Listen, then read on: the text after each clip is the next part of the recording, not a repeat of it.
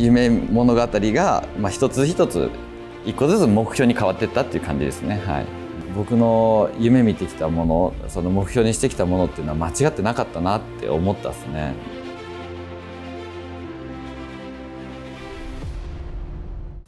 エリート初年度ということで、はい。はい、そのまあ、オープンとは全く違うフォーマットで戦っているわけなんですけども、はい、その辺実際出てみて感じたことを教えてもらえるば、まああの、まあ、やっぱりオまあ、これ生々しいかもしれないですけど話的に。あのオープンの時よりもエントリーフィーがめちゃ上がってるんですよ。言ったらオープンの時は1800ドルでエリートは5000ドルなんですよ1試合。で年間9試合あって、えー、と5000ドルなので4万5000ドルなんですよエントリーフィーが。でさらに向こうにずっと生き続ける滞在費とかいろんなものを含めると大体まああのレートでよって違うんですけど1試合まあ本当に100万ぐらい使う感じなんですよ。でもっともうちょっと使うかな？はい5000ドルって言ったら今の140円の計算であったとしても70万です1試合。でそれをやっぱ年間で捻出しなきゃいけないじゃないですか。でその中でやっぱり試合があるっていうのはやっぱりその気持ちの問題でもそうですけどそのスイッチの入り方がやっぱ違うんですよね。でエリートやってる選手ももうみんなスイッチ入っちゃってますしあの普段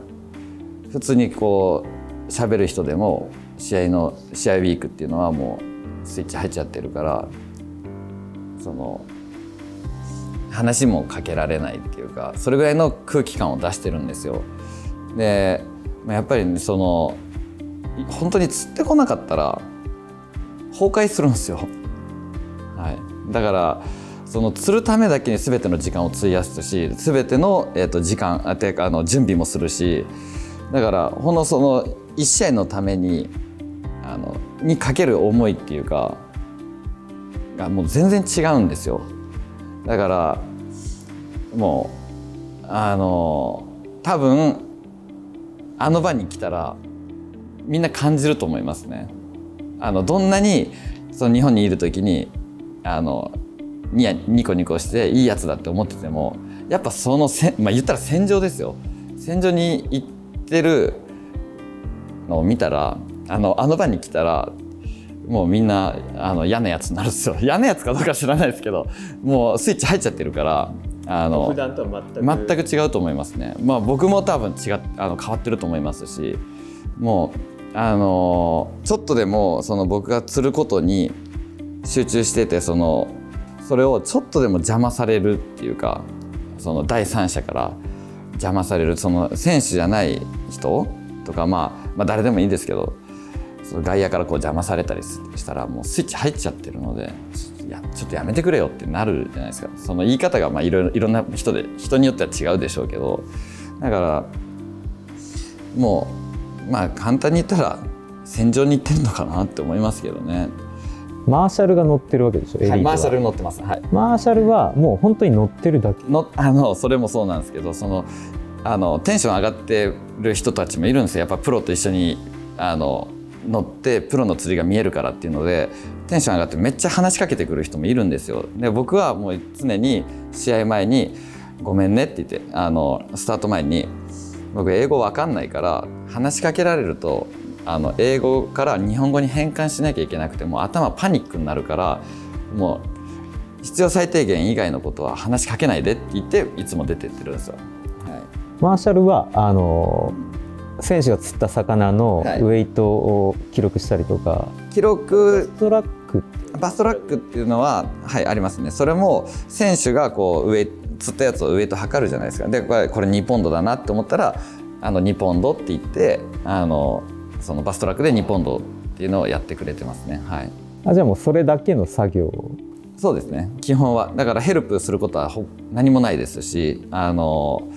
基本的にはその僕らが選手が不正をしてないかとか、うん、そういうのをしっかり見てであとはバストラックをやってくれてっていう感じですね。はい、はい。だからまあある意味マーシャルの人たちもあの気使ってくれる人はすごい気使ってくれますしもう喋らないでって言ったらピタッて喋らずに。で僕はこうガサガサって動いてランディングする時とかもサササって動いてくれたりとか、はい、そういう人が多いですけどね。はいでオープンの時は、えーと、目標設定が、えーと、エリートに上がる。プラス優勝してクラシック行くっていうところだったんですよ。であの2年前に優勝してクラシックには行けたんですよ。そこ目標達成して。で次エリートに上がりたいっていうので去年達成して。その時の、はい、えー、オープンからエリートに上がる条件はどういうものだった、はい、えっ、ー、とまあ3地区はあるんですけどセントラル、えーと、サザン、えーと、ノーザンっていう3地区あってそれの上位年間成績3位以内であの9人まずその9人とあとその3つのディビジョンからの全部出たトータルの、えーと、年間順位3位以内の人がエリートに上がれるっていうところだったんですよ。で、まあ、僕はその去年は全部出て全てのあの4つのところからのエリート参戦あの権利を狙ってたんですよ。で最終的に、えーと全部3つのディビジョンのトータルの年間順位で、えー、と3位以内に入って、まあ、あの年間2位だったんですけどでそこでエリートに上がれたっていう感じなんですよ。で でまずそこであの去年は一番その掲げた目標が達成できてで今年エリートに上がりましたで最初にかがあの目標設定立てる時にそのエリートが何が何だかわからない状態だったんですよ。だからなんか絶対こう今年はここをするっていう目標がちょっとあのしっかり自分の中で設定ができなかったんですよ。だからちょっと漠然的にあの漠然と,、えーと、エントリーフィーが4万5千ドルかかるのでエントリーフィーの回収とあのクラシック、まあ、年間成績40位以内に入ればクラシックいけるのでそこをなんかもうこう漠然とこう目標設定にしたっていう感じのあのスタートだったですね。はい、今年度はその獲得賞金がエントリーフィーより上回って、上回ってます。はいそこは。はい。そこの目標は達成。そこの目標は達成しました。ただ、えーと、40以内に入るっていうクラシック権利取るっていうところではあのちょっと達成できずにトータル59位だったので、はい、あのそこは達成できなかったっていう感じですね。はい。エリート開催期間中、はい、もうずっと船引っ張って、会場から会場へ移動っていうのが松下さんのスタイル、そうですね。はい、はい、であの、まあ、僕の拠点がテキサスにあるんですけどヒューストン近郊にあるんですけどあのエリートの試合、まあ、今年1年試合期間中はほぼ帰らなかったですねその、まあ、たまにちょっと寄ったりとかししましたけど基本的にはそのヒューストンからもう常に出てトーナメント会場行ってそのトーナメントがない間は次のトーナメント会場のあのプリプラに行ってっていう感じでずっと動いてた感じですね。はい、一人で動くっていうのはかなりその精神的に負担がでかかった、ね、はい、で去年まではオープン9試合出てたんですけど今年1試合だけ。あそうですね。今年は1試合だけ。だから今年で去年はえっ、ー、とまあ、9試合プラスクラシックで10試合出てオープンオープン9試合であのクラシック1試合で計10試合で今年はエリート9試合オープン1試合っていう感じだったんですけど去年は去年とかまあ今までオープンやってたタイミングっていうのはあのこまごまこまごま日本に帰ってきてたんですよ。あの3ヶ月行って帰ってきてでまた3ヶ月行って帰ってきてっていう感じでやってたのであの、まあ、家族にも会えたり日本でちょっとリフレッシュするタイミングがあったんですけど今年はもうほぼ行きっぱなしだったんですよ。でずっと行きっぱなしっていうのを何ヶ月間ぐらいですか、えー、と最初1月に行って本当だったら11月に帰ってくる予定だったんですよ当初の予定では。でもやっぱりもうそのメンタルやられちゃってで6月に無理やり1回2週間帰ってきたんですよ。まあそれでだいぶリフレッシュはできたんですけどあの初めてそのずっと行きっぱなしっていう年をこのエリートで経験してその今までないものが見えてやっぱ僕にはやっぱ僕は家族に会わないとちょっとこうメンタルやられちゃうんだなっていうのは、まあ、今年知ったっていう感じですね。はい、たまにやっぱそのしんどくなってきたりするんですよアメリカいる時に。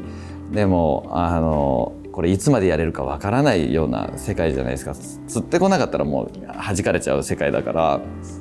あのしんどかった時とかでもあのいつまでやれるかもわかんないしもう今そのやれてるんだからこんなへこんでる場合じゃないとかそうやってこう自分のモチベーション保ってあの常に戦ってるっていう感じですね。はい、でエリートは出続けないと、はい、そのなんて言うんでしょう。もうやめてしまうことになるわけでしょ。そうなんですよ。そうそう。あの本当にそこであのオープンっていうのはあの自分がしんどかったり金銭的にしんどくなったりしたらや休めれるんですよ。あ来年ちょっと無理。だから休もう。で僕それでやっぱ1年休んでる時があったんですけどでもエリートっていうのはあの休めれないんですよ。休んじゃったらその時点でもう終わり。もうさようならっていう感じなんですよね。まあ、いろんなルールはありますけど病気病気とかの時はまあの生き残れたりするんですけど基本的にじゃあ金銭がなくなってもう無理ってなった時とかあのでもメンタル崩壊して辞めるってなった場合はもう戻ってこれないんですよ。次戻ろうと思ったらまたオープンから勝ち上がらなきゃいけなくて。だからなんか常にこの追われてる感じなんですよね。はい。だからそのやっぱメンタルもやっぱ全然違うっすね。そういう中でやるのとは、はい、だから本当にねエリートってオープンとは全然違うなっていう、はい、でもそこを目標にして出てきたわけなんで、はい、そうですね。やっぱり出続けたいいやもちろんあのずっと出続けたいです。であの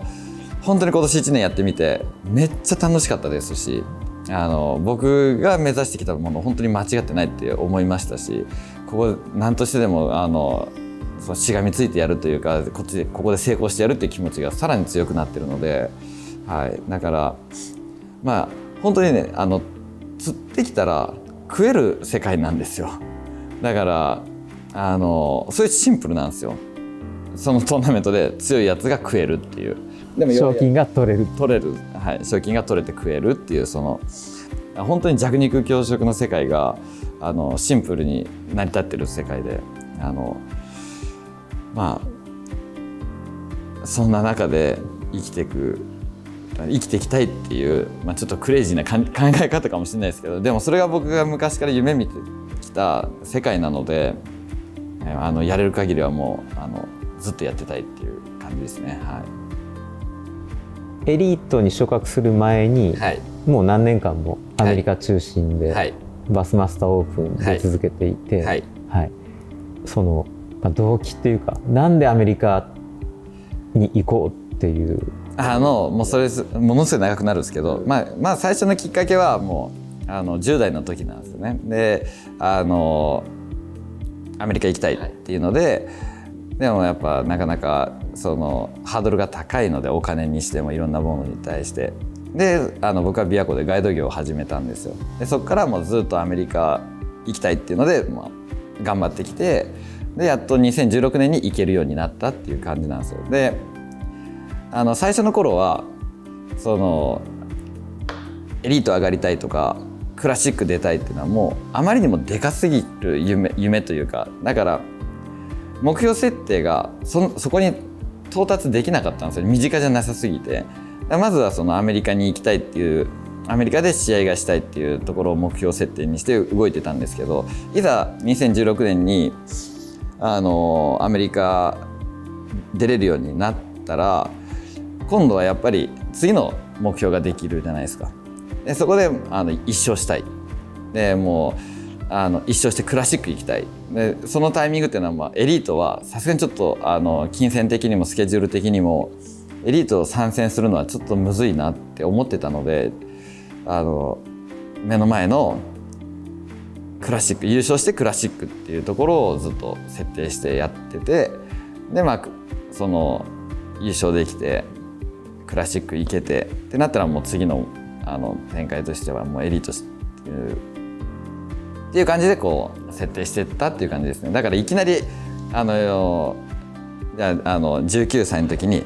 エリート行きたいとかそういうちょっとねあの具体的にはなってなかったですね、はい、最初はもう漠然と夢見てたっていう感じです。はい、で一個ずつやっていくうちにそれが全部あのその夢夢物語が、まあ、一つ一つ一個ずつ目標に変わっていったっていう感じですね。はい、うん、そんな感じだったですね。はい、だからまあ僕があの日本で活動していたその琵琶湖ガイドとかそういうのっていうのはもう全てアメリカがやりたかったからっていうあの全てアメリカのために活動してきたっていう感じですね今までは。はい、だから今こうあのエリート上がれてなんだかんだこう戦わせてもらってるのって、まあ、正直言ってすごい楽しいですし、はい、あの1年でも多くやりたいですし。2021年は、はい。バスマスタークラシック、はい、まあ、目標の一つであるクラシックに出場できたと、はい、はい、その辺も教えてもらっていいですか？あそうですねバスマスクラシックっていうのは、まあ、誰もがか分かんないですけどアメリカをちょっとでも見たことある人は憧れる場所ではあると思うんですけど、まあ、それにあの2021年初めて出れたんですよ。で、まあ、やっぱりあの出てみてすごいまあなんて言うんでしょうねそのじわーってするもの込み上げてくるものありましたしちょっとあの半泣きになっちゃう部分もありましたしおこんなとこにこんなステージに立ってるっていうであの、まあ、ただそのクラシックっていうのはシリーズ戦じゃないんですよ。でエリートってやっぱシリーズ戦でもう本当釣ってこなかったら自分死んじゃうみたいなもうノリなんですけどクラシックっていうのはまあ本当に単発の一発勝負のその何も前後に何もないみたいなただ優勝賞金が30万ドルっていうまあその高額なものでシリーズ戦じゃないから追い込まれることはなかったですね。だから純粋にそのクラシックを楽しめたというか、はい、そういう気持ちはクラシックであったですね。ででもねやっぱり出てみてその思ったんですけど僕の夢見てきたものその目標にしてきたものっていうのは間違ってなかったなって思ったですね。だからあのもう一度出か出たいですしあの本当に勝てるチャンスがあるならもうやり続けたいですし。でもやっぱその勝ってる可能性上げようと思ったらやっぱ出なきゃいけないじゃないですか。何回も何回も出なきゃいけないからやっぱそのエリートやりながらあのえクラシック権利っていうのはもう常に考えてますよね。はい、2023年は、はい、SDG マリンが契約となって、はい。はい、その辺について、はい。えー、教えてもらっていいですか、はい、僕がその、えーと、年間戦うようになってから、えーと、SDG マリンさんが、まあ、あのサービスクルーとしてあのずっと来てたんですよ。で、まあ、そこで僕もあの出会ってで、まあ、同じ日本人だからっていうのでその僕は契約してなかったんですけどあのものすごい手厚いサポートをしてくれてでただまあ僕はあのそのタイミングっていうのはロスモータースポーツっていうそのアメリカのバスケットディーラーの、えーとディーラーからこうあの船を借りてたのであのまあそんな中でえっ、ー、とさあのいろいろと助けてもらってりはしてたんですまあ、ロスモーターっていうのはあのトーナメントの会場までこう足を運ぶようなところまではしてなくてでも SDG マリンさんはそのトーナメント会場まで足を運んで何かあったらすぐに見てくれてっていうあのシステムを作り上げてくれててで、まあ、同じ日本人だからっていうのであの何かあったら助けてくれてたっていう感じだったんですけど僕は何が一番アメリカでしたいかって言ったらトーナメントであのしっかり回回して勝ちたいっていうところが一番あの僕の中ではそのために行ってるのででその時にあのこの SD マリンさんのあのサポート体制っていうのはそこに僕にとってはそこに一番近づけるというかストレスなく試合が回れるんじゃないかっていう部分からあのその契約させてもらうように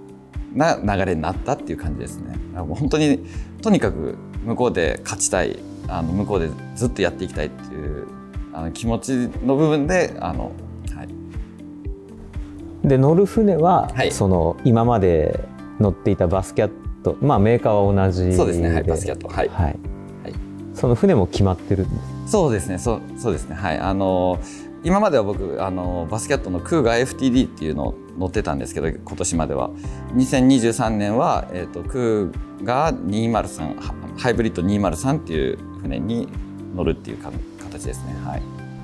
実際その203ハイブリッド、乗ってみてどうでした、はい、ただまだ1年を通して乗ってないのであのその細かいところまでは分かんないんですけど基本的にはデッキレイアウトとかはあの空ガ FTD と一緒なのであのその辺は問題なくえっ、ー、と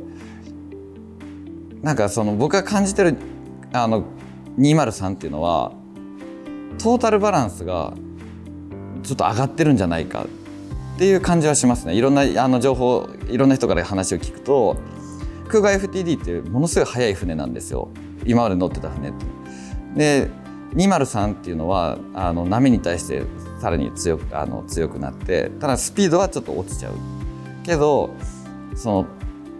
試合を戦う上でトータルで考えた時にそのトータルバランスは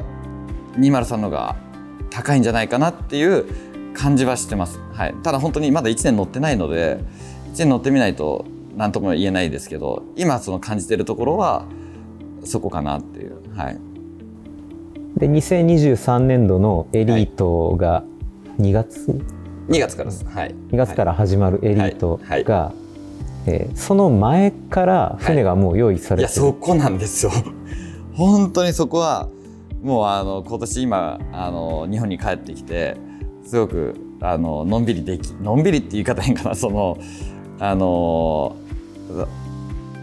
まあ一番助かってそうですね。そこですね。だからあの去年なんかはあの船がそのまあオーダーして今年乗る船オーダーした時に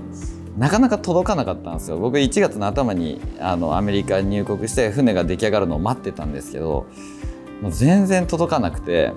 まああの3週間ぐらいあの待機してたんじゃなかったかなっていう。でもう試合が始まるのにもうすぐ始まるのに全然準備ができないっていうその焦りとかもものすごいいろいろあった中で今年はそのもう船が船を用意してもらえてる状態でもうなんなら今ラッピングまで終わもうすぐ終わるっていうところまで来ててこの安心感って半端ないですよねやっぱり。だからそういうそのメンタルの部分であのえっ、ー、となんて言うんでしょうこう、まあ、不安がそうそうですね。不安がないからこう焦ることもないし本当に釣りに集中できる環境だなっていうのは今も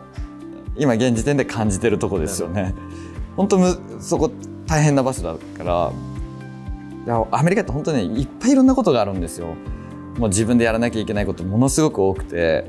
で英語がわからない中で一人で動くからもう時間あの時間配分もすごい細かい中でそのいっぱいやらなきゃいけない中でその釣りになかなか集中できない環境なんですけど本当にねその辺のサポートというかそのなかなか目ではわからない部分だと思うんですけどその本当そこがねあの試合するまでのいろんなことねそこは助かりますよね。はい、だから本当試合に集中できる環境っていうのでもう本当ありがたいなと思いますね。はい